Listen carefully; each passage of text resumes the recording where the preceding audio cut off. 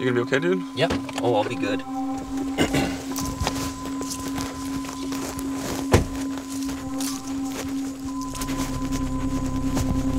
Sometimes I, I, I do. I still wonder, like, if they think about me a lot, or at all. Sometimes I wonder if there's, you know, still pictures of me in the house at all that they have, or if they still talk about me or like talk about well, good times we had together. Yeah, probably. I don't know. I probably think about my little sisters the most. You know what they look like. What are they, what are they doing with their lives? Who have they really become? What are their personalities like now? Are they, you know, are they like my brothers, or are they more like my mom, or more like my dad? You know.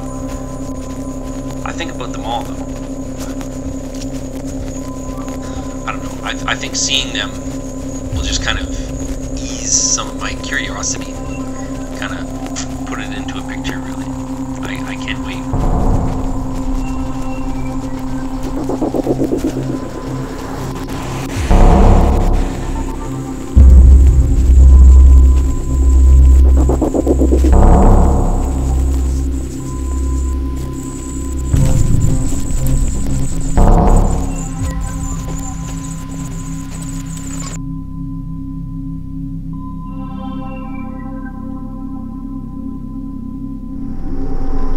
Want them to feel when, when they watch it?